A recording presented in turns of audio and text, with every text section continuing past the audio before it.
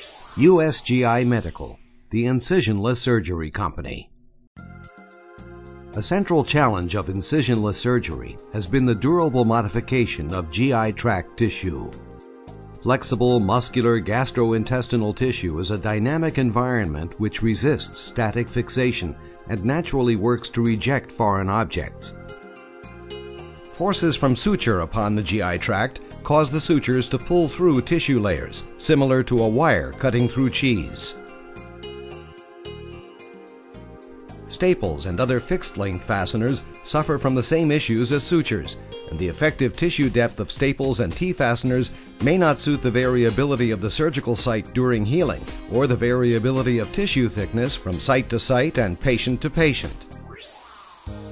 The USGI Medical Expandable Tissue Anchor was created to hold tissue folds or permanently bring tissue together, to distribute forces and accommodate dynamic stresses, and to handle different tissue thicknesses.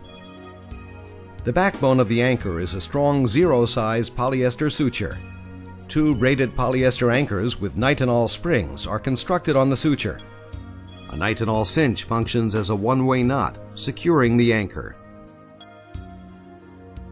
After the anchor is delivered to the surgical site, the baskets expand away from the suture, allowing the anchor to distribute forces over an area 24 times larger than the suture itself. The anchors are also flexible, accommodating postoperative inflammation while maintaining their hold on the tissue. This design allows true surgical customization. Cinching is user controlled under direct vision with tactile feedback, similar to a traditional suture. Unlike fixed-length fasteners, anchors are not limited by tissue type or thickness. Unlike staples, they don't crush tissue. Expandable tissue anchors assist incisionless surgery. Anchor placement begins by grasping a fold of tissue. Then a needle is passed through.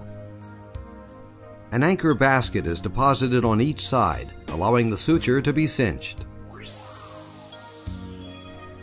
Proper tissue anchoring goes beyond a full thickness bite. It enables the ideal amount of compression to produce healing and durable tissue remodeling. After anchor placement, vasodilation and increased vascular permeability cause acute inflammation. Within 24 hours, granulation tissue forms at the puncture site. Migration and hyperplasia of epithelial cells lead to mucosal layer repair. Since growth factors in granulation tissue favor fibrous tissue deposition, the granulation tissue scaffolding becomes a scar. This remodeling is confirmed by post-chronic animal histology.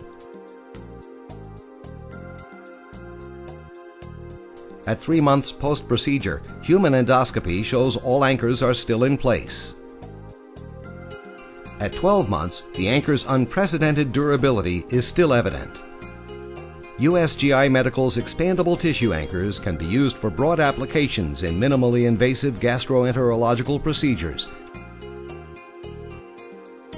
Expandable tissue anchors from USGI Medical, the incisionless surgery company.